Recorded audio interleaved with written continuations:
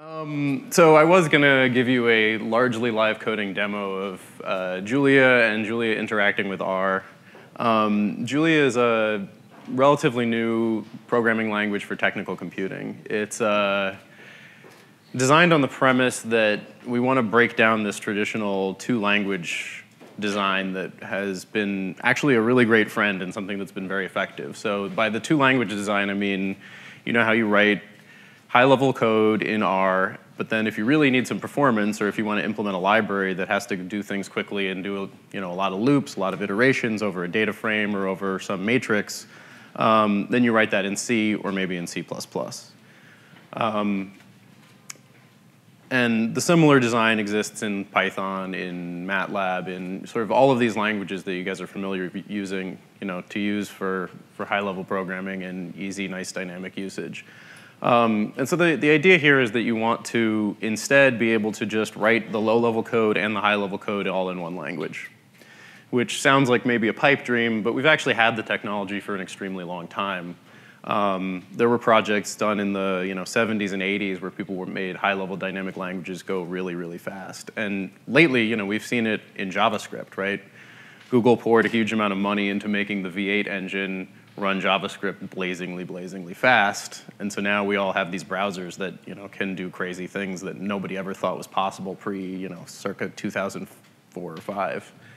Um, and so this is just a project that takes some of those old ideas that were a little bit ahead of their time when they were developed um, and applies them to the area of numerical computing.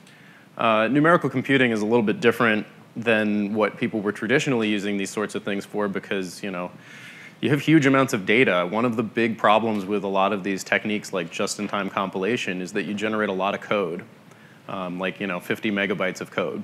But if you're dealing with a 100 gigabytes of data, you don't really care about 50 megabytes of code. Um, so it's sort of an idea whose time has come.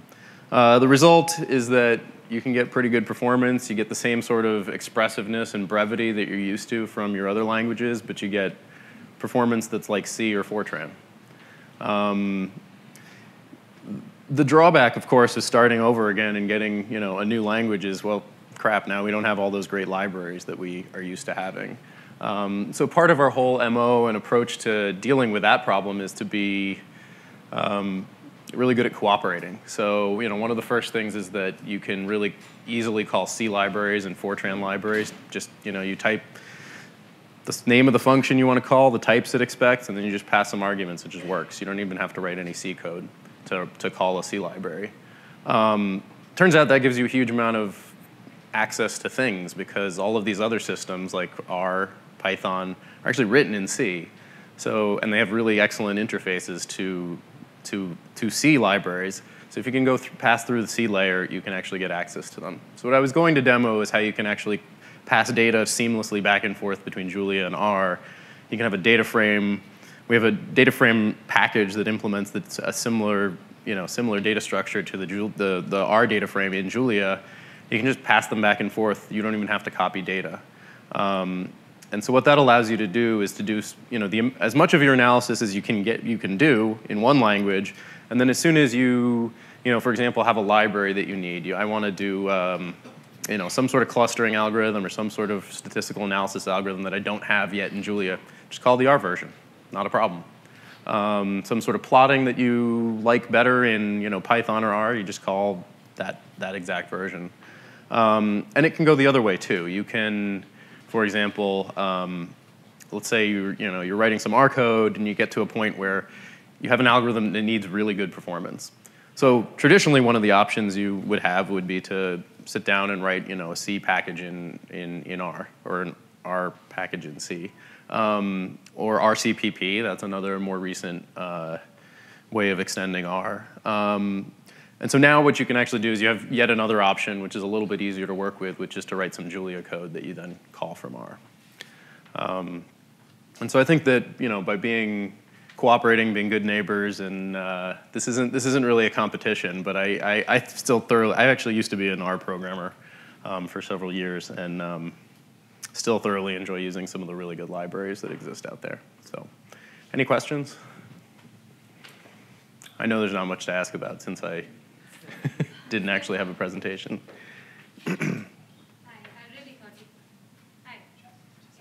Yes. I can. I don't know about everybody else. Well, Ah, there yeah, you there it is. Um, I forgot what I wanted to ask. I have that effect.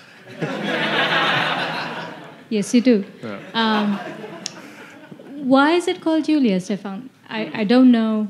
I haven't used it. I'm not familiar with it. My favorite theory, there's been many theories floated about this. Um, it seems to be lost in the sands of time, um, but is that it's named after Julia Child. That's my favorite theory. Yeah, that's my favorite theory. What would be the uh, best way for a newcomer to um, learn Julia? Any resources that you could recommend? Um, there aren't. There is a book that just came out, but it's not.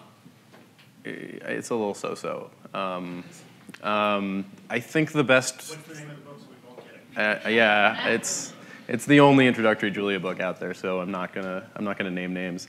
Um, but um, the, the the Julia manual starts out pretty easy and then sort of ramps up. Uh, uh, the idea is that sort of the first half of the manual.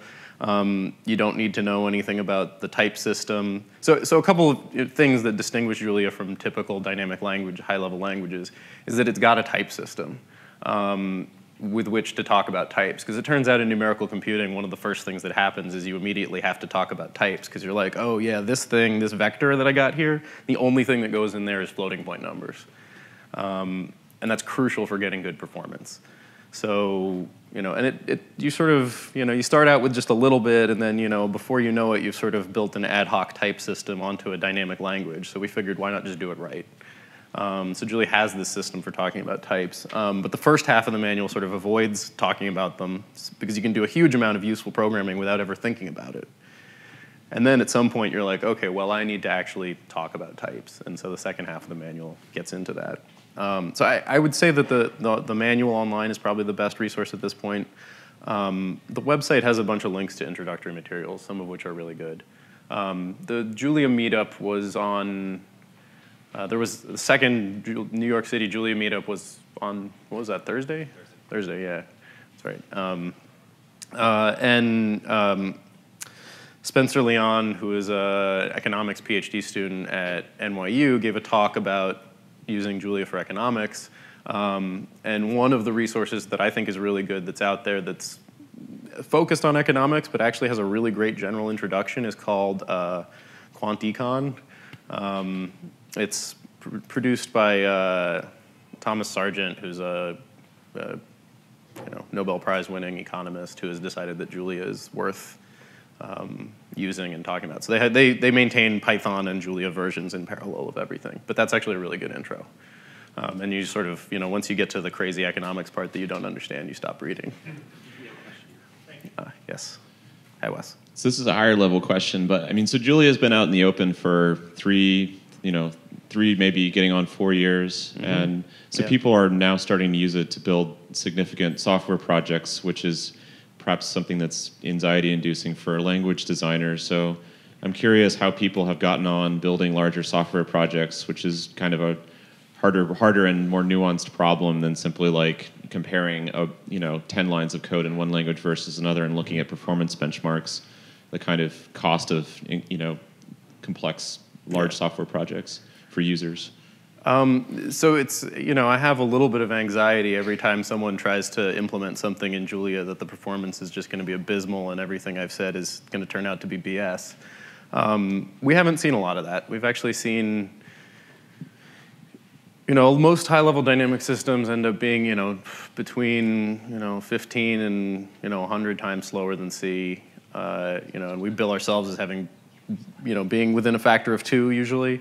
So what happens is sometimes someone will write the, you know, the naive version and it's like five times slower than C. They're still already 10 times faster than the other version they wrote. And then usually with some tweaking you can get faster, but that's just performance. Um, in terms of building robust systems in, in the large, um, it's certainly not any more problematic than other dynamic languages, right? You have the same challenges, which is that you don't have a type checker that's making sure that you don't make stupid errors. Um, to some extent, you have a little bit better uh, of a situation because you do actually have this type system that lets you do some kinds of checks that you couldn't otherwise do. You, you know, you have a function and you actually can annotate what the types of the arguments are. So if you see somewhere that someone calls a thing that can only take integers and calls it on a string, you can actually see that that's not going to work. Um, but it, you know, it's still not it's not Haskell. So um, we're we're still working on making sure that that balance of being sort of dynamic and easy to use interactively versus being able to like run, you know, create and deploy programs is is there. Um, that's kind of a weird non-answer, but I don't know. Yeah. Yes. Um, so, how stable is Julia right now in terms of if we if there are larger software systems being built on it? Um, is that safe to do? Um, is is there you plan what you, on any like what do you mean by stable? Do you mean like does ba- it is it just compatibility breaks or changes? Okay. Um, so if you stay on the stable version, you're pretty good, but it's not going to be like R Python where, well, Python has its own problem with like two versus three, right? Um, the current release that is going to come out this summer is 0.4. We're not at a 1.0 release yet. Um, so if you're real conservative, wait until 1.0, which will probably be next summer. Um, 0.4 is going to be the most breaking release we ever have past or future, because after 0.4, it's going to be 0.5, which is going to be relatively minor, and then we're going to release 1.0, like you know, at some point af- shortly after that. Um, so it, it shockingly few things. There's a bunch of things that break, but it's less than I would have thought. Um, so for example, I think that you know pre 1.0 R and Go were both much harder to keep up with. Uh, we don't we haven't really changed many fundamental things. Are there any companies using Julia right now in the commercial space, or, or do you have any adoption there? Yeah. And how do you see it evolving now? Um, so there's a lot of interest in finance. Um, uh, there is a small hedge fund that I can't give the name of that I, you know, help with uh, their tech stack, which is all built in Julia on a regular basis. Uh, there's a company called Conning, which is uh, they do financial simulations for insurance. Uh, they're based in Hartford, and they're rebuilding. Their current technology stack is all K. I don't know if anyone's familiar with the K language, but they're rebuilding everything in Julia. Um, and we've there's there's a number of other fairly big players that are looking at it or, or have already started. Um, and we have we have a company. We started a, a, a company to sort of support this on the premise that you know open source is good at some things, but things like you know providing vetted sets of packages and and you know the you know support for those packages and you know someone to call and yell at in the middle of the night when your things break. Um, that that's you know open source doesn't do that as well as a company can. So we have a company called Julia Computing that is providing that sort of support.